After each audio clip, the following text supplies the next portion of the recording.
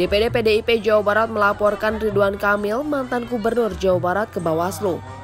Pelaporan ini terkait video yang beredar di media sosial saat acara aparatur desa di Kabupaten Tasikmalaya.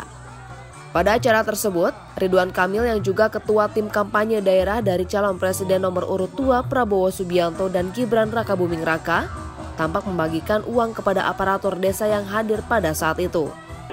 Anggota Badan Hukum dan Advokasi Rakyat PDI Perjuangan Jawa Barat Naga Sentana pihaknya melaporkan ke Bawaslu diduga adanya pelanggaran netralitas aparatur sipil negara atau ASN. Hal ini dikatakan Naga Sentana di sekretariat bersama Ganjar Mahfud.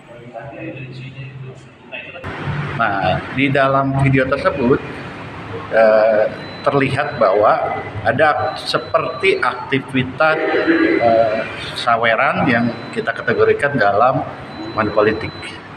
Nah, yang kita coba laporkan ke Bawaslu Jabar adalah eh, terkait kegiatan tersebut apakah eh, itu acara TKD atau acara siapakah?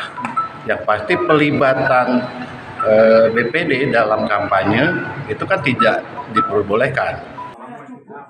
Andri Iskandar, Bandung, Kompas TV, Jawa Barat.